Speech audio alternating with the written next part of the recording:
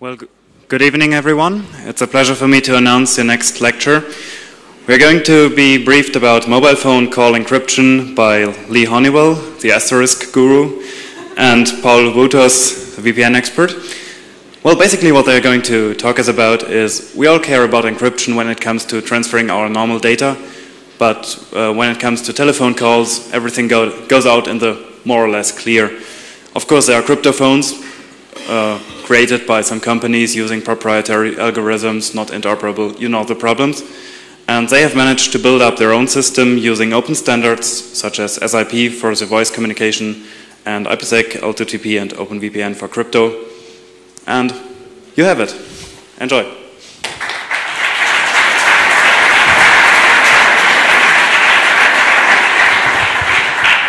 This working? Excellent. All right, so we're going to talk to you, as you said, about mobile call encryption, um, basically voice over IP and IPsec uh, on various mobile networks. So um, the slides are yours to copy. Enjoy. Um, we just have to give credit to the lovely slide design by Michael. I'm not going to try and mispronounce that. Um, and over, overall, we're going to go over the goal and design for what we were doing here.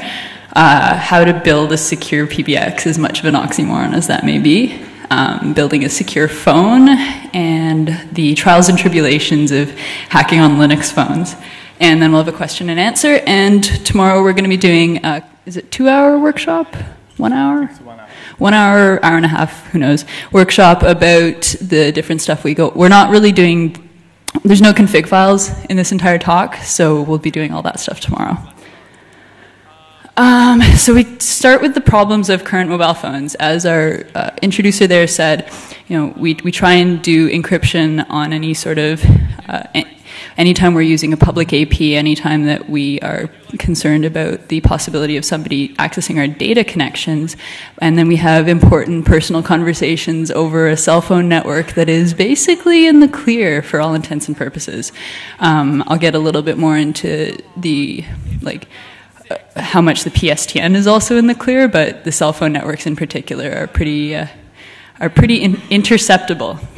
You have stuff like lawful interception in the states. It's CALEA in canada it's whatever the rcmp wants to do. Um, i don't know what the different laws are over here but basically uh, any telco that has public telephone numbers has to be able to give access to law enforcement to uh, uh, has to give access to law enforcement to be able to intercept all of the phone calls that goes through their network and the person just sitting there quietly in the corner is the one who broke the GSM encryption. So he, he can he can tell you why it's all plain text, really.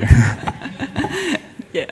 So um, uh, Paul has done some work on how secure the Dutch tapping rooms are. Um, it's, it's one thing to have a tapping room that has access to all of the, te- the country's telecom infrastructure. It's another thing when once you've set up that tapping room, you don't control access to it properly. So we, I think we've got some links at the end to that, or we'll put some uh, in the slides in the final version. Um, I don't know how many of you have heard about the SIM card cloning issue, but uh, there's a telecom uh, magnate in, in Canada named Ted Rogers who runs Rogers Communications, which is our unfortunately only GSM provider.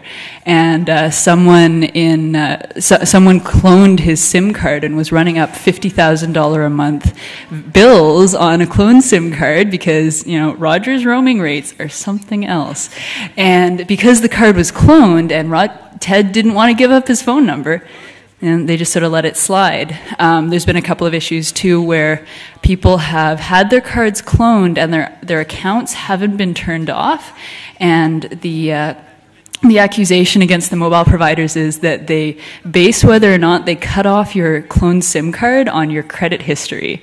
So if somebody runs up $100,000 in roaming charges on a cloned SIM of yours and you have a really good credit history, they'd rather take your home then cut off your GSM access. Um, so that the SIM card cloning thing is, is a pretty big problem right now. Uh, the price of GSM towers and scanners and other tools for intercepting uh, GSM conversations as basically clear as Paul was saying. Um, sorry, I didn't catch his name. There. Lucky, Lucky uh, has cracked GSM. It's it's not a particularly strong encryption standard anymore, and uh, stuff like setting up rogue towers is going to be an increasing problem. But you know, five, five, ten years ago, the equipment to intercept a, a, a GSM conversation was in the hundred thousand, hundreds of thousands of dollars, and then it dropped to the fifty thousand dollar range, and now it's it's under ten. So if you know if you have a reason for wanting that kind of equipment, you can get it, and it's not it's not uh, unobtainable anymore.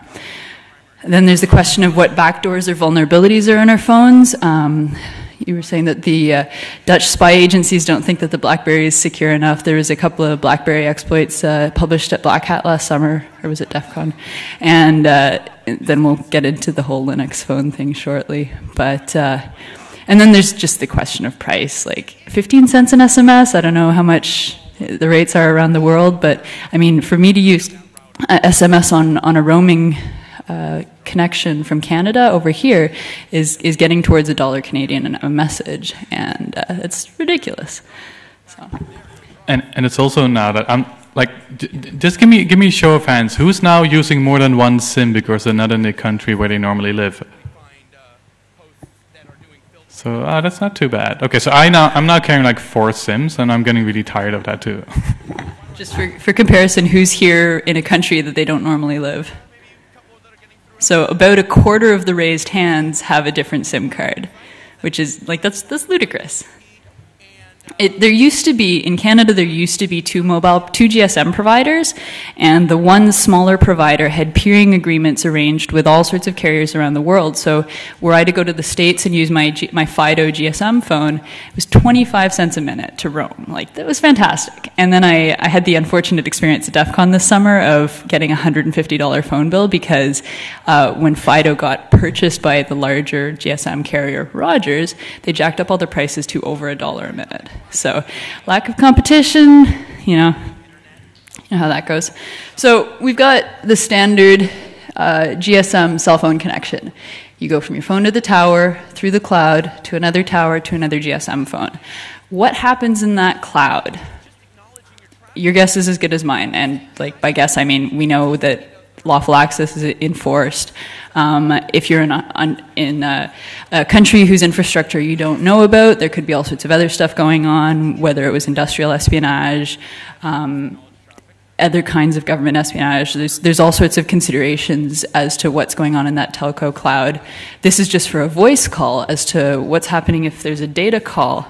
We've got all sorts of different potential uh, proxies and servers that your call, whether it's voice or it, that your data call could be going through, whether it's a BlackBerry Enterprise server, um, some sort of proxy server, a number of uh, CDMA, uh, CDMA providers in particular in North America tend to not to like tend to not like giving out public IP space. So you need to ask for they call it a VPN compatible data connection, which really means they give you a public IP address. Um, so which is why you, you basically can't do a proper data connection on a couple of the providers in Canada. Like you just don't get uh, prop, a proper. You're just going through a proxy for the entire connection, um, and these are all points of vulnerability for your conversation that you just you have no idea what's being done with with your voice or your data. So, our goal with this project, and we'll go into how much we achieved and didn't achieve of it later on, but the goal was to build a secure private communication infrastructure that can be used in untrusted hostile networks, whether it's telco or internet, because we do talk about uh, voice over Wi Fi in a bit without losing any functionality compared to using a mobile phone or laptop. We wanted to use only trusted open source software, and we wanted to move the trusted aspect of the communication into the software we controlled, as in the open source software we were using, since we can't really trust the hardware, whether it's our snazzy Linux phone here or you know, your Windows Mobile PDA phone uh, or any of that we're looking into we're looking at a future where everybody's going to have a cell phone whether it's their one laptop per child laptop that's going to have a GSM connection in it or whatever the next generation is and these are these are design considerations for that communications infrastructure that you know people are going to be deploying in the future so, what can we trust? Not a whole lot out of what we've gone over so far. You can't trust your voice call, whether it's a GSM call or whether it's a landline call. I mean, I'm sure that most of you know that it's as simple to tap a landline call as it is to walk up to somebody's house and clamp on with a butt set and listen to their conversation. Or, you know, if they've got an old cordless phone and they're talking over that, the baby monitors, like how well that works. Um, we can't trust our mobile phones because we have this infrastructure that I've gone over is like not you know you don't know what's going on in the cloud. Um, there's also a number of questions with mobile phones over whether or not uh, you can that whether or not somebody like a, a, telco could turn on the microphone in your cell phone remotely without you being able to control it, and uh, whether or not you'd be able to detect that with something like those stickers that show when there's a GSM connection, or you know when you put your mobile phone by a by a speaker and it makes that beep beep beep if it's a GSM phone. Um, there's there's even situations where if that call is happening and that like un, that secret call is happening and you're not you're near enough to a tower that they've overpowered the tower so they don't need to they use a very very low powered connection on uh, on your cell phone. Um, you may not even be able to detect the fact that your phone is making an outgoing call without you knowing it. This is all conjecture but it's all completely technologically feasible. Um, the actual IP network that you're using on a GPRS, UMTS, or what was the other one? Anyway, the Edge, edge yeah, sorry, the G- GPRS Edge or UMTS connection. Um, you can't trust what whether it's going through a BES or uh, like a proxy server, any sort of. You're on the cloud regardless. Um, and then you have the question of proprietary phones you don't know what's on your Windows mobile phone. And I mean, that's always been my concern with the CryptoPhone is that it runs on Windows Mobile. Um, I, like I, I totally, totally respect the CryptoPhone project. I think it's an amazing, amazing product, but it does run on Windows Mobile. And then we get into unknown and homebrew cryptography. It's you just don't want to go there. So, who do we want to protect against? Uh, I've gone in, I've gone over a lot of this already. It's internet eavesdropping, telco eavesdropping. Um, revealing location information. Um, I was talking to one of the guys from the EFF yesterday who's working on something around this, but we haven't, we didn't go into this at all. You know, you're, you're on a cell phone. It, it, it you know, within a couple of feet, they know where you are. Uh, what, what the best, cheapest method of communication is, if, you know, if Wi-Fi or WiMAX is available, you want to use that. And if it's not, you drop to GPRS Edge, UMTS, getting more expensive. In some places, less so. In some places, more so than others. In Canada, it's a hundred bucks for a hundred megs, and that's the best you can get. In, you don't want to use untrusted third-party storage or relay services. There's a couple of uh, encrypted um, VoIP services out there that uh, have different like uh, that are, have untrusted relay services. I'm thinking of uh, was it Wango? There's, I had some concern about the Wango project and relaying through, and of course Skype is the big example of that. Like you have, the, it's closed. It's, it's closed source. They uh, prevent you from even looking at looking at the application through a debugger. There's nothing you can do there. Um, and storage and relay services like SMS, Black, BlackBerry servers, BES, um, uh, commercial email services like the ones that the different cell phone providers offer and uh, their internet services. Do you have some more that you wanted to say there?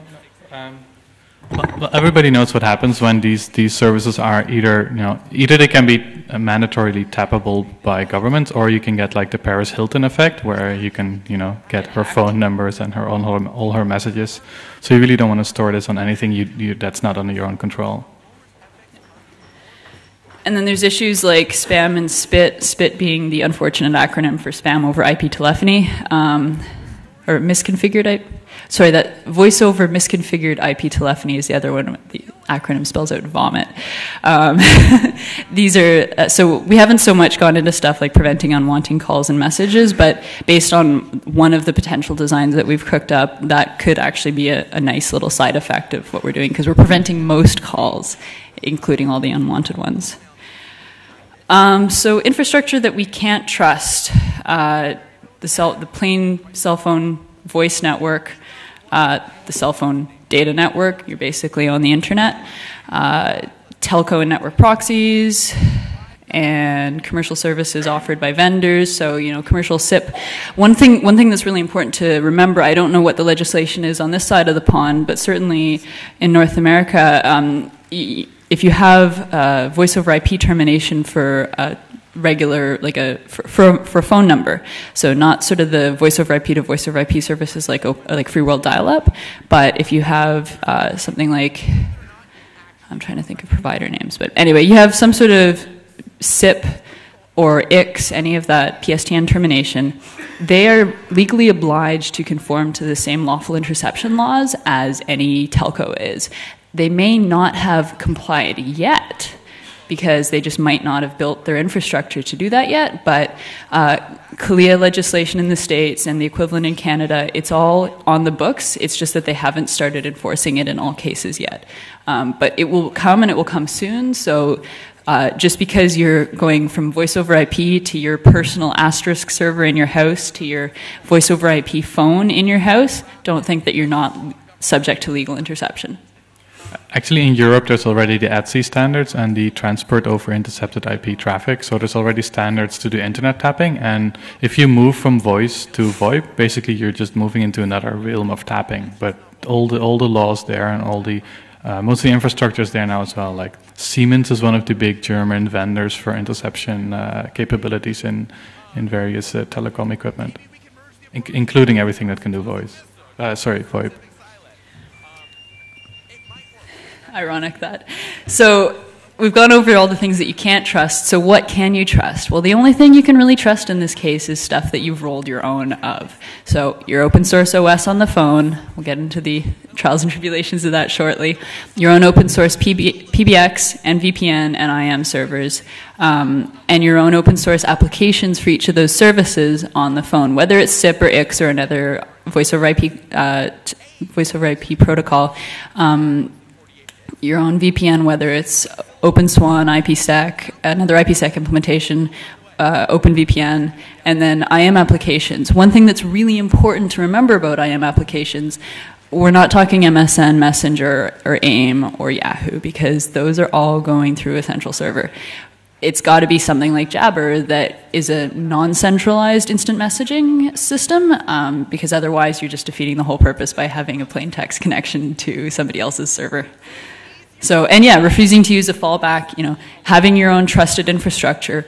If you, if this is an absolute must that you have to have this secure communication, don't use a fallback because you open yourself up.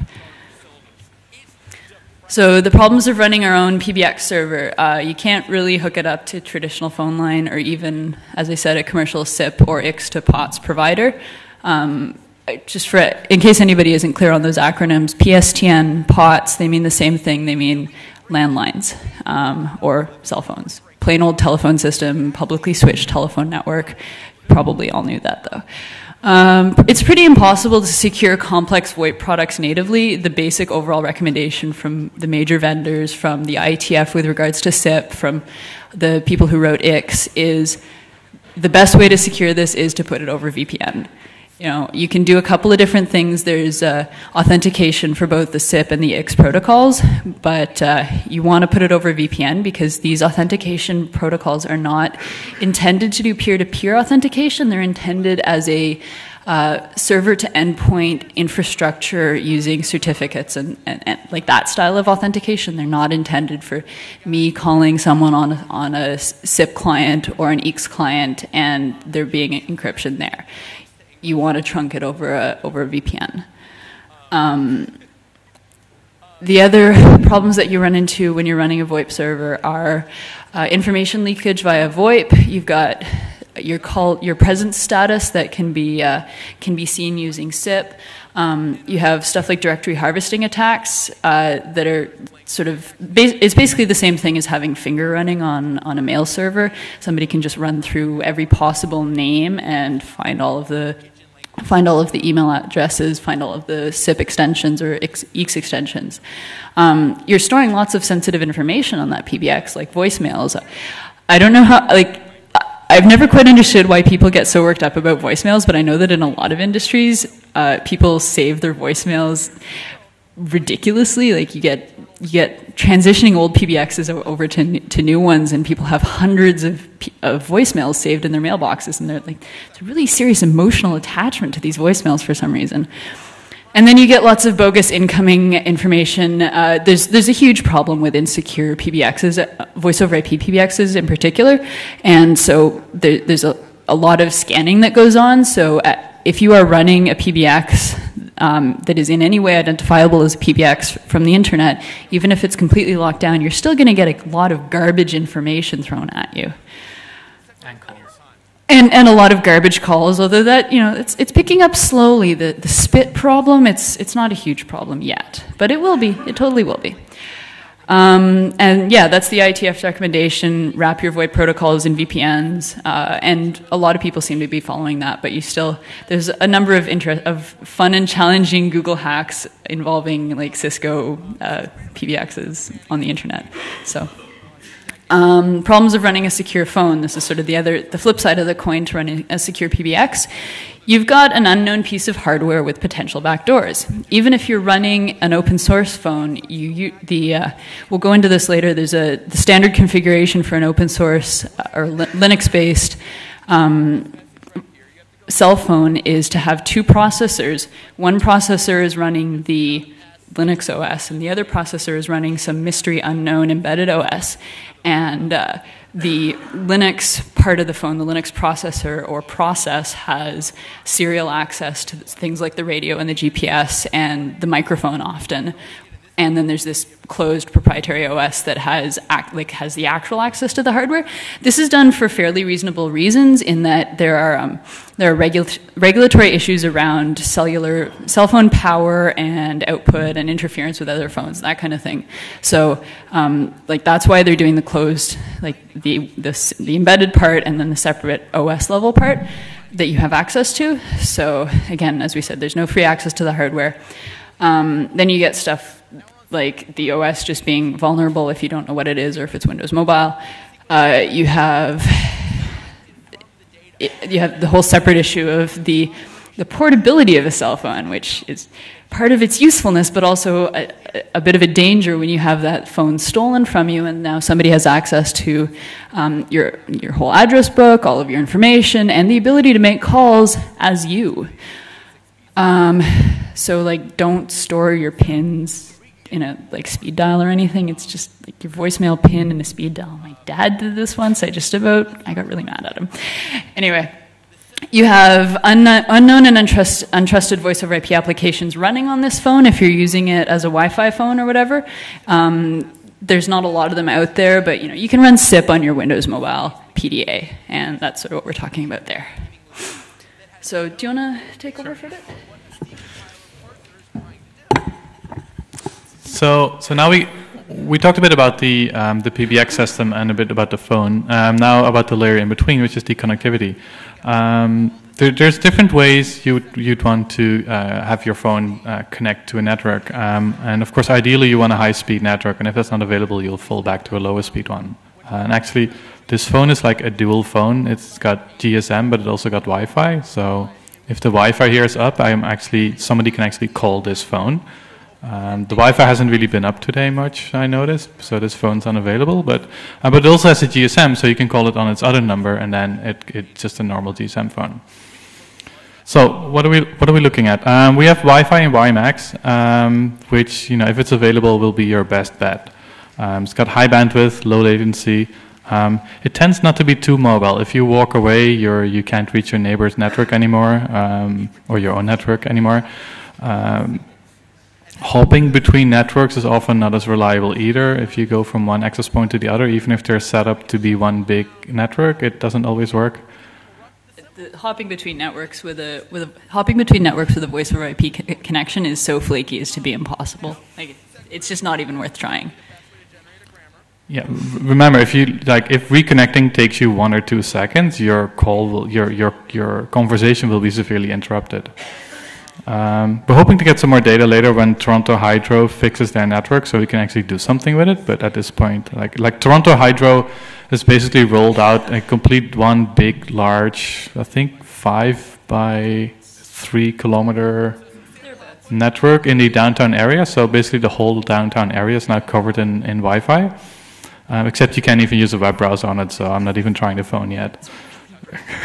it's it's pretty broken. Um, and, and so far, there, there, aren't that many phones that actually have Wi-Fi. It's beginning to show up in the newer XDAs, which are way too expensive, but in other phones.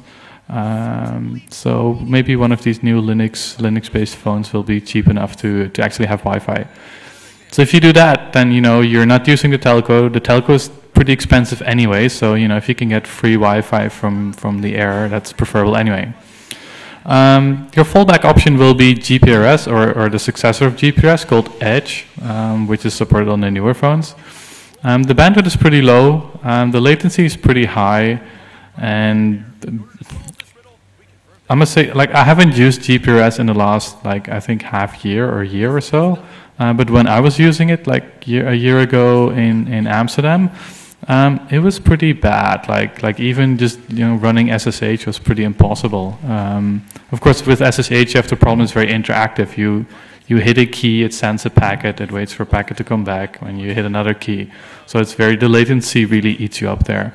Um, so GPRS is not not not the best, but it's doable. I'll I'll, I'll show some graphs in a bit where we can see that um, it is doable, even though it's not ideal. Um, UMTS um, is not that different from GPRS, except you get more bandwidth, but really we don't need more bandwidth. Like the bandwidth is, is sort of enough um, if you go with a lower codec. So sure, with UMTS you could use a better codec, but um, you still have the high latency problem. Um, what the cryptophone has done to solve this problem is that they're um, actually making a, a modem call, like a like an old-fashioned voice call, and then you hook this, you know, acoustic coupler on the line, and you make it turn it into a digital signal. So they're doing a voice call, so they're getting they're getting their guaranteed bandwidth over that. Um, so it's also it's it's low latency and.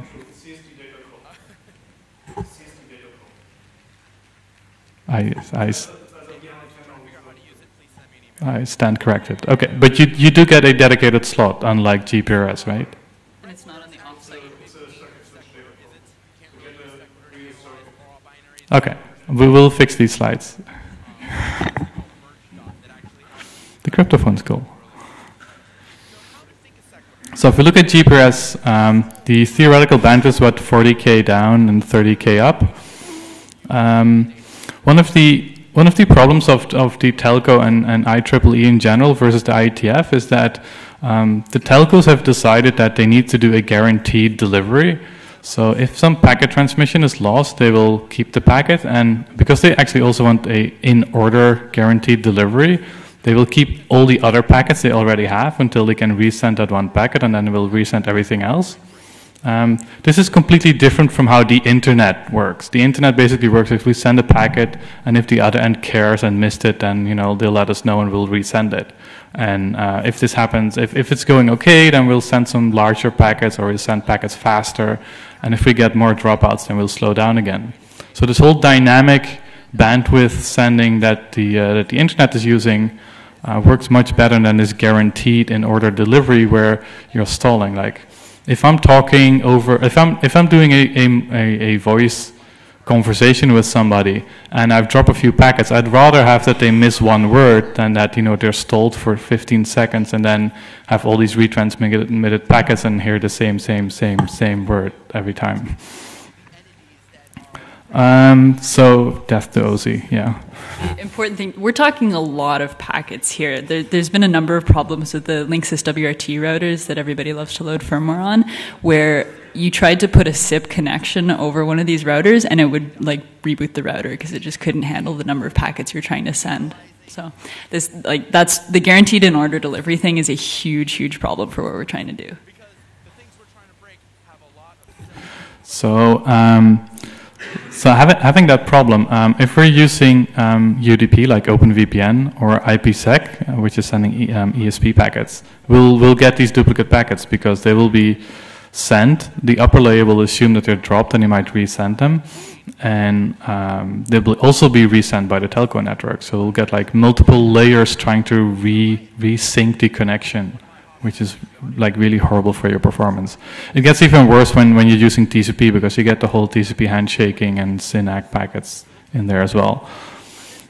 Um, and the, the, the, guaranteed TCP delivery, like um, certain certain UDP protocols, like SIP itself, can drop certain packets, and you can still continue the call. But if you if you're using TCP, then you know every packet has to be delivered. Um, with GPRS, the round trip time of like one second is nothing abnormal. So uh, again, this is a problem if you're if you're talking if, if two people are talking and they're you know they're having a, a very short sentence conversation. Um, Hi, how are you doing? I'm fine. Okay, so how are you? Yeah, that's great. Oh, excellent. Every time you switch per person, you'll you'll get these delays, and they they will be really buggy. Um, if you're like me now, you know, presenting with a long monologue, then it won't matter because if the packets drop, you'll just don't hear me for a while, and then I'll continue talking again. so, so this is this is what in the old way was called uh, push to talk, where you actually had to push this button, and then you could talk, and then you would say over, and you would release the button. Um, so if you're sort of yeah, if you're using GPRS, you're very likely to have to sort of change the way that you're talking to the other person on the line. Um, another thing, GPRS uses spare time slots in your service. So if if if if it's New Year and you want to call your mom over your super secure uh, phone, then or you're in New York, or if you're in New York, um, then then you know forget about calling because everything will be overloaded, and the first thing that goes is the you know free GPRS cycles on the cell. Um, another thing, cell hopping uh, really doesn't work very well. Um, in my personal experience, um, if if you're in the middle of a downtown big city and you take the train and you start your GPRS connection, um, because in the downtown city area the cells are really small, if you're sitting in a train, the only thing you're doing is reconnecting to a different cell. You're not getting any data through.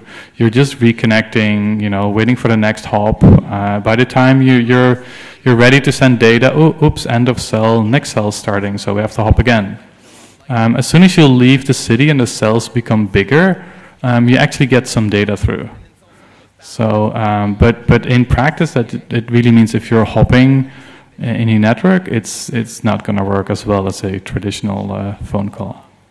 Um, I'm not sure how the crypto phone uh, does it have problems with this as well or not. You can sit on a train in Berlin and leave Berlin and keep talking.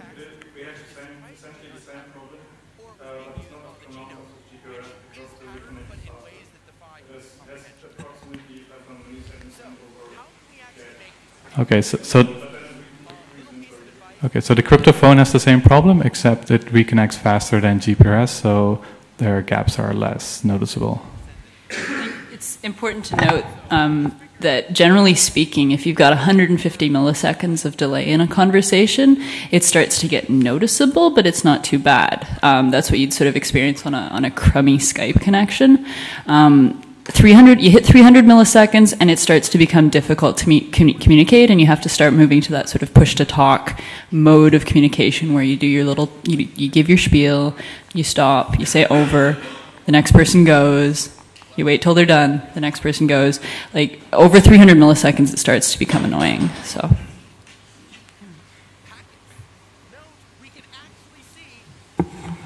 So um, some people did some um, some serious research over the uh, the GPRS bandwidth uh, delays. So even though the title is practical experience with TCP, they actually also did um, UDP and, and raw packet statistics. So these are the statistics of 64 byte UDP packets. Um, I'm not sure how visible it is in the back. Um, basically, it's the um, delay versus the amount of packets that went through. So basically what they did was they, they kept the GPRS location uh, stationary. They made sure they had good radio conditions, and then once every five to ten seconds, they would send send a packet, and then they would see what the uh, the packet delay was. And as you can see, the uplink is pretty good. Like between zero one seconds, basically almost all the packets go out. Um, so um, that it would sort of mean that talking on your phone will work pretty well. Um, if you look at the, the graph on the right, the downlink, you can see that it becomes more and more normal that packets take longer than one second, and you know it's even not uncommon for them to take two to three seconds. Uh, so again, this is where you basically have to go to push to talk and you know keep keep your talking simple, use monologues, and and don't expect too much interactivity from your phone call. Uh, bandwidth wise, this, this shows the, the throughput you can get on GPRS. Um, on the left, the uplink, you can see that you know e even with poor link condition, well, with poor link conditions, you're gone at you know 0.4 uh, kilobyte per second. It's just not going to be enough to have a phone conversation. Um, the same for I guess one, uh, 1.4 for an uplink. I think should be enough. It should be enough if you, lose, you use a very low codecs with a very poor quality. If you use, if you were to use Speex or G729, I'm pretty sure you could get through on those even with the open the um, even with the VPN wrapper. Um, and you can see that the um, the downlink is not so much of a problem because you're always up in the you know four to four and a half kilobit range.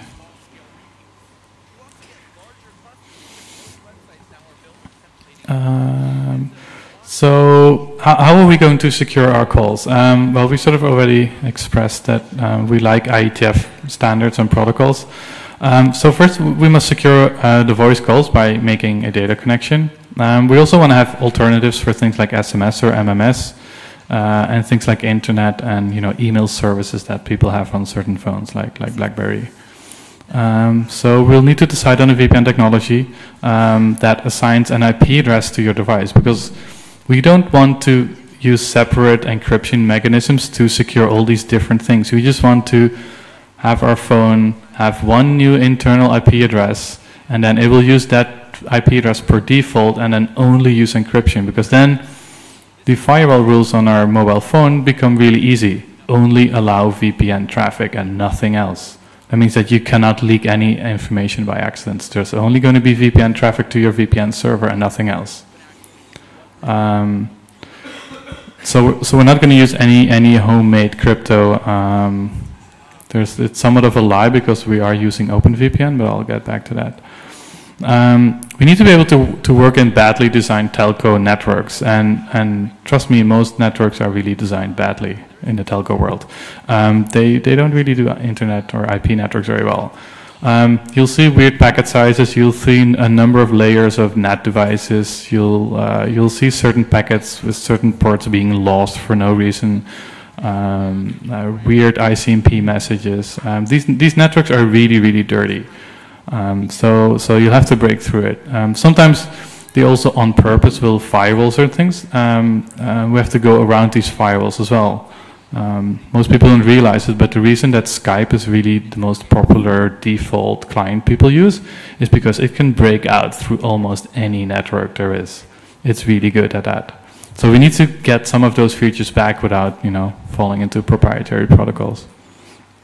And we want we want the solution to work um, basically on all platforms, on mobile phones, laptops, and PDAs, because I might want to use my, my laptop as my phone connection when I can. Um, and also, you know, today we're developing for this phone, and I don't know, tomorrow this Chinese company goes bankrupt or sold or whatever, and they make another phone.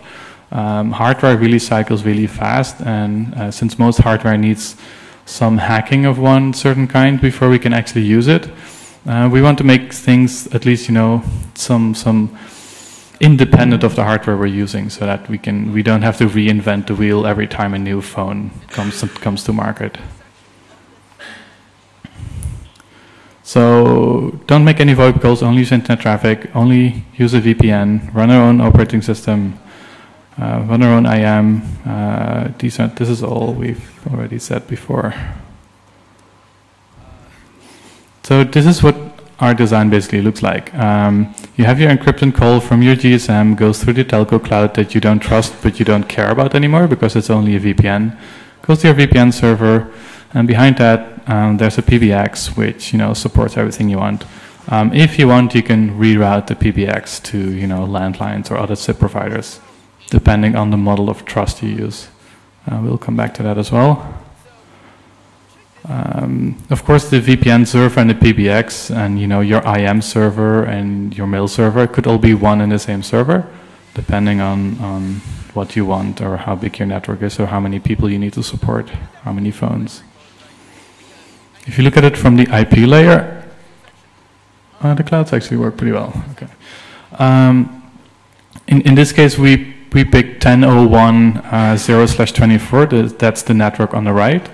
That basically has our, our VPN server with behind it the other servers. Um, the phones uh, that you see on the left, um, they they get a public IP address. In this case, you know, I called them a.b.c.d and e.f.g.h. Those IP addresses are only used for VPN communication. So they set up the VPN, and then through the VPN, you get a new IP address. And you notice that it's in the same range. It's a 1001 address for both of them. So logically, they, they, these phones now appear in your, your own local company network or home network. Um, and so they will be able to reach each other. So what VPN technologies do we use? As I said, I, uh, like it's really crypto is really difficult. To, making your own crypto is really not advisable. Um, so, but but we the problem with the IETF protocols is they're really clear protocols and everybody knows how they work and they're pretty safe, but um, they're easily blocked because everybody knows that you know if you block UDP port 500, nobody will get an IPsec connection through anymore. So. Um, we need to work around that. So on the left, we, we can see IPsec with LT2P. LT2P is the Microsoft way of tunneling an IP address within a VPN. Uh, we decided to use that because it's a standard that sort of works. Even though we don't use any Microsoft products, um, we are using LT2P for this. The alternative is XAuth, which is an old standard by IETF, or IKEv2, which isn't really done yet. So this is a good uh, middle ground for now. So IPsec, um, it's got a proven track record. It's you know military grade security buzzword compliant. Um, works everywhere. It's a standard. Has seen lots of research. Um, it's got good performance. Um, it's really bad to break through NATs. Um, um, Linux, the Linux world is a bit of a mess with IPsec. There's two IPsec stacks that haven't been merged yet. One requires a separate patch for NAT traversal. Um, the other one doesn't really handle various packet sizes very well. So um, basically, when you need to break through a NAT router, things get a bit ugly, and you have a better chance using OpenVPN. Um, so getting back to um, to OpenVPN, it's fairly easy to set up on the client side. It's a bit messy on the server because they're doing various networking hacks on the server to actually route these packets through. Um, so um, if, you, if you start to play with it, definitely use a separate server and make sure that your hands can physically touch the server when you're configuring it because you will screw up and lose your connection to it. Um, it's somewhat homegrown protocol, um, even though it's using OpenSSL for all the crypto operations. So the crypto itself is pretty trusted, but it's still sort of wrapped up in, in, in its own UDP or TCP protocol which hasn't seen as much research. Um, there's been a few vulnerabilities in OpenVPN, um, though they have been fixed, uh, both on the protocol and the implementation level. Um, so it's definitely a bit more vulnerable than, than IPsec is. Um, so um, we prefer not to use it, but we also realize that it has a much better chance of bypassing a firewall than, than IPsec has. So we basically want to use both of them. You know, try IPsec, and if that fails, we'll fall back to OpenVPN. So, so th this is another um, mode where you can use the VPN. Um, let's assume that you're somewhere in South America and you're you have your GSM there. You set up your VPN. You don't trust the local place where you are, either the local government or the you know local big corporation competitor of yours. You can do a VPN connection to your PBX in your trusted country, where you know that the government doesn't eavesdrop on all your calls. Notice that this PBX is in Canada, not in America. Um, and from there on, you can, you can then gate back into the traditional phone system and make an insecure call. So, so you're protected for the, from the insecure area where you're at, like in this case, South America. And um, you're only vulnerable to the North American, you know, eavesdropping police. uh, which hopefully has better privacy laws, which Canada actually does. In as the slide loads. In this situation, it's it's more that you don't really care if you're gov- like you're con- we're considering here the possibility that you don't really care for whatever reason that your government has the potential to be eavesdropping on you, but you have concerns about the. Uh, the trustworthiness of the telecom infrastructure in a foreign country, and say you have an important competitor there, they could be paying somebody off in the telco to be allowing access to your phone calls. That that's the situation we're, we're going over here. But do also take, take note of that, even in a um, quote progressive pro government like uh, Holland, um, you have military intelligence uh, officers uh, clearly stating that the economy is a national interest and needs to be secured. So um, this basically justifies things like you know eavesdropping on what was it, Airbus versus Boeing, where you know Echelon was used and and and and uh, I guess I guess France or Germany also tried to spy in on the Americans, and a bit of the, some large bit went to uh, went to Boeing instead of Airbus, just because you know, and and this is like governments using their infrastructure to help their own big corporations because you know. Money is national interest. You know, you need to, if you if your government has no money, you'll lose your security. So, it's not just the paranoid people that are trying to get you. It's just uh, justified by money. Um, okay, so I'm not. By now, I'm looking at the cryptophone people. Uh, I see the cryptophone people heavily looking at the slide.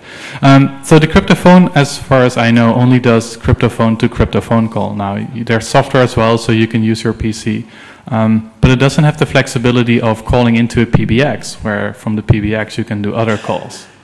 Um, so this is one, one feature we, we like. We, we can go to a PBX and then we can, we can make SIP calls or we can go to a POTS line and make a normal call. So you can trust the, you can protect yourself from the local area that you are and, and make a secure call to a trusted area and then go untrusted from there. But that's okay because you trust that area. Okay, this is where I take off.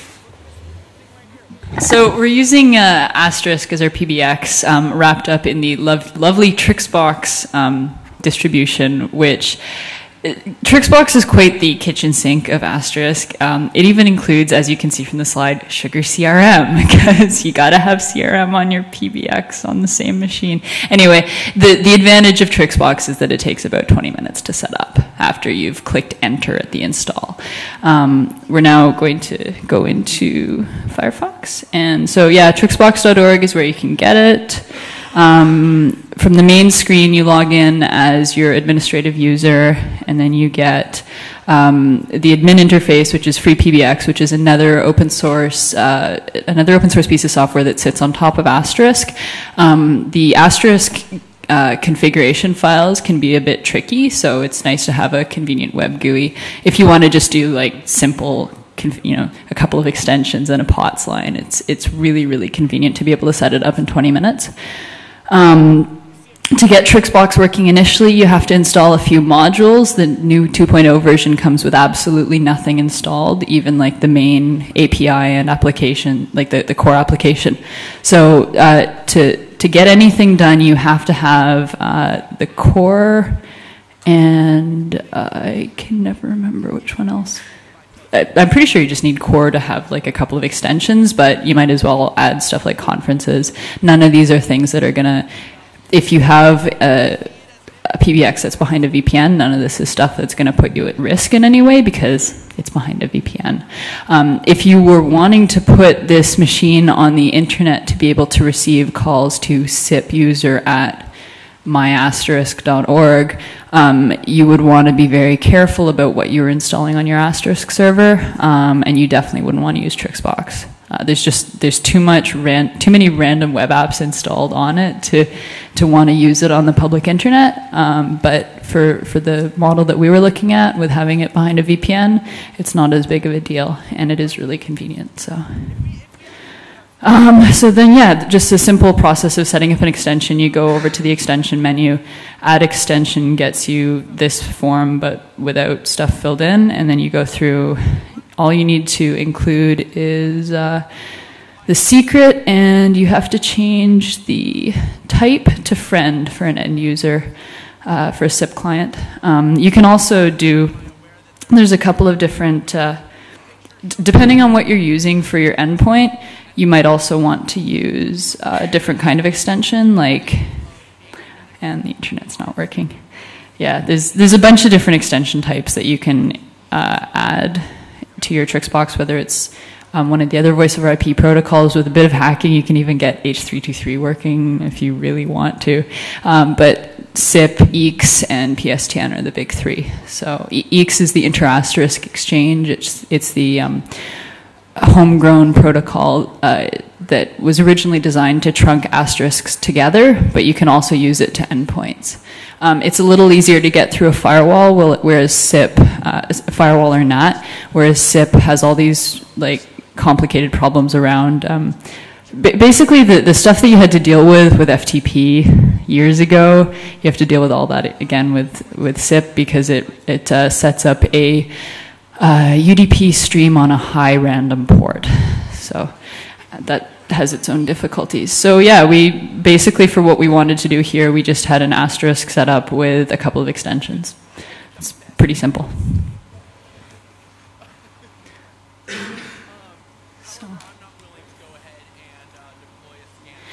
So yeah, and then we'll get into the oh, so many phones and so few of them worked.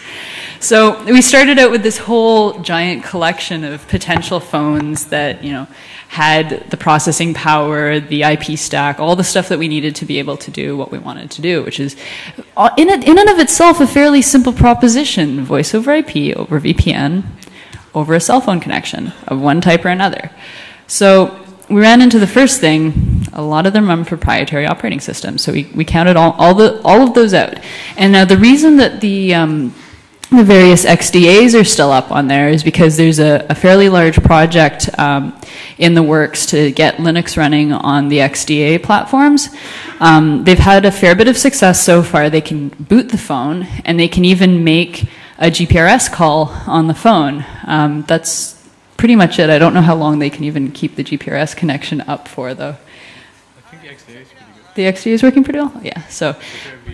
They're they're also they're pretty expensive, so that's why we never got one of them. But they're neat phones, and you can run Linux on them, sort of. Uh, so yeah, we eliminated those because they're too expensive. Um, we we left the green phone on here, even though it was slightly over our too expensive mark because it was really cool. But then it wasn't available. They had a GPL problem with their bootloader, so yeah, and then we'll get into the whole GPL problem with this thing. But uh, yeah, so we had we were left with the Para Para Wireless Hippie Hippie. It's called the Hippie. Um, and uh, the Motorola A1200, and we had this Zultys Wi-Fi phone on here, which we didn't bring with us, but yeah, and this one we didn't initially think it runs Linux, but there's questions now. So, uh, and then the Zultys, you can't get the source code. So, and then with the Motorola phones, both with the A1200 and the earlier A780, which you can sometimes find it, but it's been discontinued, so it's a little harder to find. There's this interesting uh, problem that I mentioned earlier with having the two processors, and there's a watchdog, and it uses SE Linux and just shuts down the phone. So, do we? Oh. Actually, are any of the OpenEZX people here? No, Stefan Schmidt? No? Okay, I guess not. Okay, um, they've been working really hard in the last like month to uh, to get um, to get their own Linux kernel running on the uh, the, the uh, both the A780 and the uh, A1200. The A780 has the problem where the proprietary CPU shuts down the entire phone if it doesn't get a proper signal from the um, the open source uh, CPU, and of course they're still you know hacking and seeing what signals to exactly send because they're you know proprietary binaries. So they they needed to find out the proper kernel drivers and the MUX clients to talk over that serial line and send the right signals.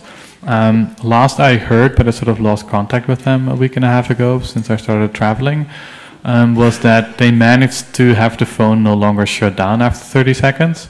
Um, so um, hopefully they're they're they're getting better. The problem is though with the A780 is that for practical purposes it's not really available anymore. It's like a discontinued phone, so you have to like you know find really sleazy dealers or I guess eBay to, to find it.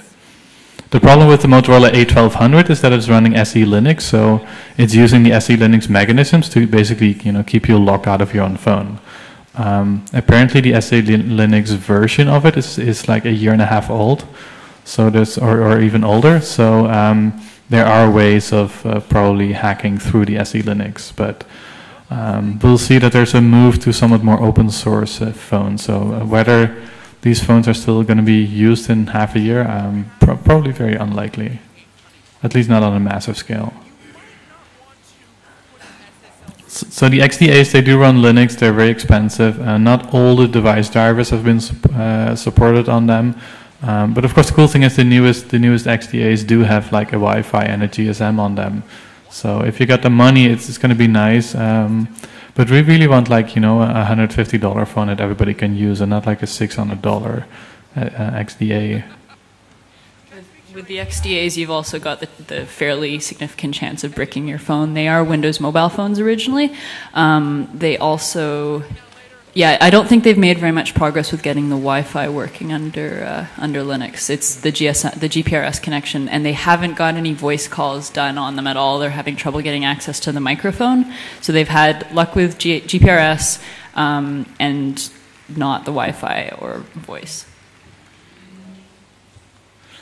So, so, these are the phones we started working on. Um, the is more or less because we had one anyway. Um, um, I've actually forgot the Zolt, so I can't show it to you, um, but I'll tell you a bit about it. It's it's pretty big, and you know when I heard that Linksys was going to come with the what they call um, iPhones, which are basically also Wi-Fi only phones, I think they might be much more interesting. Um, though I'm not sure if they run like VxWorks or Linux. Was that the five, 15 minutes warning or the five minute warning? What? Five. 25. As in five or 15? Five. Okay, let me race through the slides then. Okay, so um, let's skip that. So this is briefly the, the Zultys firmware format that um, we found. Um, basically, there's a string, there's a rootfs, there's a gzipped kernel, there's some checksums. Um, we found the string MontaVista Linux uh, in there, so it's a MontaVista 2421 kernel. If Harald Welte is around here, I would love to hear why they haven't been sued yet by GPL violations, because basically almost all the GPL violations of Linux kernels seem to be coming from MontaVista. Um, I guess he won't answer publicly, but maybe privately. Please find me and tell me why this is. Um, so we found these, the, the, the rootfs, um, the firmware versions in there. It's got BusyBox, glibc, uh, which funnily enough is not used because all the apps are statically linked. Um, it's got the entire phone application in WIP in a binary called WIP2, and I got a mini GUI called MP4 Web. Um, and there's what looks like a sound driver in there. Um, so, so we know pretty much about this firmware. Uh, we tried modifying it and then having the phone updated. The phone's still rejecting it. Um, so we're doing something wrong somewhere. Um, there's there's not many bytes left unaccounted for, so hopefully uh, hopefully we'll figure it out. Um, and Willem, who's also worked on the cryptophone, has uh, been a great help analyzing all this firmware. So thank you, Willem. Um, so for flashing, you need to have yeah. Let's just skip this. Um, if you want to flash it, read this. Um, there's some weird things with the phone. Um, same with the Para Wireless. Um, it seems to be running something called Hopen, which is some sort of Chinese telco uh, nationwide new real-time operating system, which seems to be Linux cut with a few functions. Um, it also runs one big binary called W, which seems to be an entire phone application. It's using Linux, um, Linux file systems and, and uh, C shells and other things. Um, they don't call it Linux, and the vendor is calling this a proprietary Linux OS. And for 200,000 US dollars, I could get a license for it to develop for it. Um, um, hopefully, uh, we can change their mind. Um, so there's seven executables we found: the shell, GDB, GDB server, MK for you know formatting your external card, and the X modem up, upload download protocol probably for flashing. Um, so what are we adding to the phones? Um, well, read through the slides. We found a command line SIP client that is really useful. It's called uh, PJSUA. Um, supporting everything we want. Got a very small footprint and uh, um, we've got some, some, some calls working with it. So hopefully uh, we'll be able to put that on the phones. Um, Jabber, there's some Jabber command line clients that we want to add to, uh, to, to basically replace SMS. Uh, and some scripting that needs to be done once we get there. Um, and wow, this is slide 42. Um, we're, uh, well, this is basically the end. So if there's any questions, please ask them right now.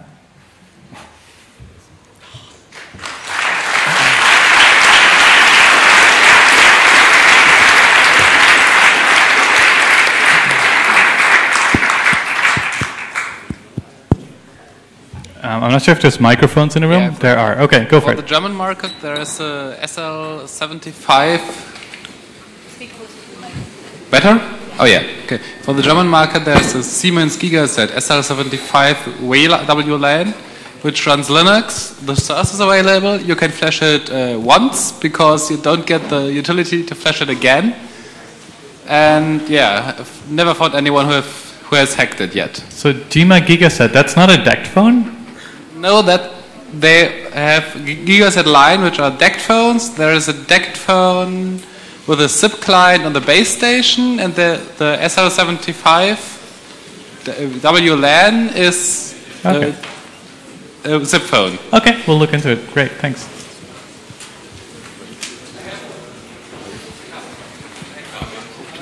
There's a phone waiting somewhere, a microphone waiting there. Excuse me? Um, have you had any latency problems uh, when using VPN? So maybe because of um, the processors of your cell phones are too, too slow or, or even with normal laptops? In, in, in general, these CPUs these days are fast enough to do crypto operations without causing any delay. The delays are really the latency in the network and not the crypto operations. Um, did, did you consider using a separate box? Right, uh, okay, right. Did you consider using a separate box and use your phone only as a modem, so to speak, and have them communicate with Bluetooth? No, I, I don't want to carry my laptop all the time. I want my No, phone to I'm be a not talking about your laptop necessarily. It could be any device that speaks Bluetooth. It's an idea. We're trying to get this to be fairly device independent. Um, that it's basically going to be an application that runs on anything that can run Linux or anything that can run IPsec and a SIP phone. But, but that is that is a good idea, and it's something worth looking into. I think. Sorry, could you be please quiet when leaving the room? We are still having some.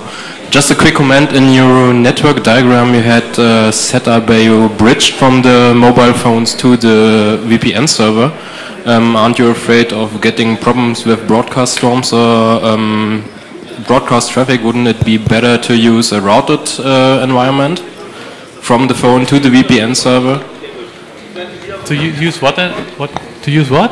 A routed environment, so routing between the uh, subnet, uh, the network you have your PBX and uh, IAM server sitting in.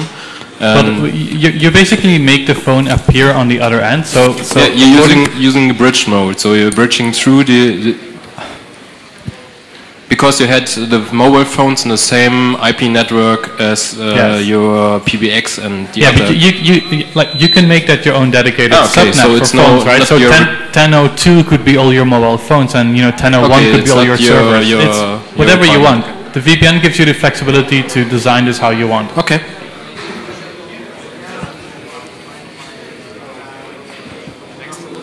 Um, in the last year, a lot of phones switched to the Series 60 from Symbian. Yeah, how is it, how is it about security on this Symbian operating system? Because for Linux, there is, for example, in Austria, I cannot buy one Linux phone with UMTS and Wi-Fi. So how is it with this series related to security and SIP and with this stuff?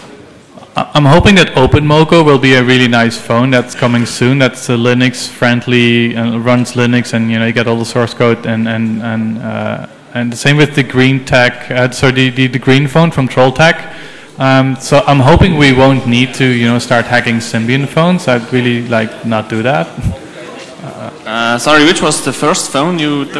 Sorry. Uh, the first phone you, command, you recommended? Uh, The, Op- OpenMoko phone, it's a Linux phone. It's currently vaporware, but we're hoping to get one soon. okay, thanks. Basically, my advice for phone at this point would be wait two to three months and see what's on the market because things are really happening right now. I mean, the green phone did ship a couple of units. Like it's not vaporware. They just had a they had a GPL issue. They shipped a couple of units, realized they had this issue, sh- stopped shipping. Yeah, but the green phone was only uh, like a development project for companies, not for the not for a private user, or not.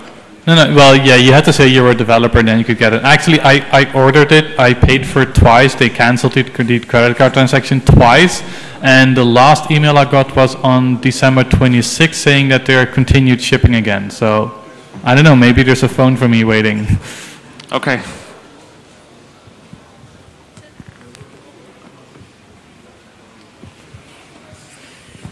Um, so I have to be online all the time with my phone? Or how do you, uh, how does, uh, you had this phone on the left side and the one on the right so, side? So, so um, if you're on GPRS, you're basically always on. It's like your BlackBerry. You're you're continuously online. and you, if you have a VPN, you're always transmitting data. So To be to be reachable with your SIP client or IAX client on your phone, you would need to be online, and there would be a certain amount of, of cost in data sending like packets all the time. Um, but both SIP and IAX are fairly efficient at that keep alive, so it wouldn't be a lot of data. I mean, this is going to be an expensive proposition no matter what. Like, I don't think we've done exact calculations, but I wouldn't be surprised if it was in the 10 bucks a minute range. It, I sort of like calculate if you start using only like GPRS only and, and you're able to do all your voice calls using data to your, your own PBX server which has like a SIP provider um, then if you're calling for, for you know 70 euros a month it's going to be cheaper to buy the highest um, GPRS connection bundle which will give you unlimited traffic so you know it will work for a few months until they maybe realize that you're actually doing more than what they consider unlimited traffic and but no, future will tell us when they cut you off. But um, basically, yes, you will have to max out your GPRS subscription. Uh, but if you actually, you know, do 70 euros of mobile phone calls a month, you will break even. This is calculated in like what I did with the Canadian prices, which are a bit high. Things might actually be a little bit better here in Germany. Canadian Canadian data prices are ridiculous. You can't get an unlimited connection. It's really really annoying. And the, the problem with the limited GPRS subscriptions is that as soon as you go one byte over, they basically want your soul. Like the prices of going over your, your, your allotted amount of megabytes is like, you know, you might as well kill yourself. And don't forget that we're running a workshop tomorrow. So if I guess we're going to probably have a lot more time to answer questions and to talk about configurations and that kind of thing there. Um, I think there's one more question if we've got time for it. During, when you're doing this workshop tomorrow, uh, you have pointed out that there's only a very limited number of phones which can now be used for your application. Do you bring any phones with you to show up uh, how this thing can be done? We're going to be discussing probably more about how, how difficult it was to get a phone to work on this for this project. But this is the the, hip, the hippie phone, the um, para, wireless. Um, it's the one as we were talking about that runs uh, Hopen, a proprietary Linux-based OS. And uh, there's a couple of other ones out there, but we just haven't been able to get a hold of any of them. So. But, but it actually works pretty well. Like I have, you know, gotten made ph phone calls from and to Holland using this phone. Um, of course, without encryption because that's not what they support. But you know, that's the next step. When the Wi-Fi was working, we were registered with XS4ALL's SIP provider. So. Okay, so if people want to know more details about configuration files of OpenVPN or, or op uh, OpenSWAN, L2TP or Asterisk or whatever, tomorrow there's a workshop. Drop by and we'll show you everything.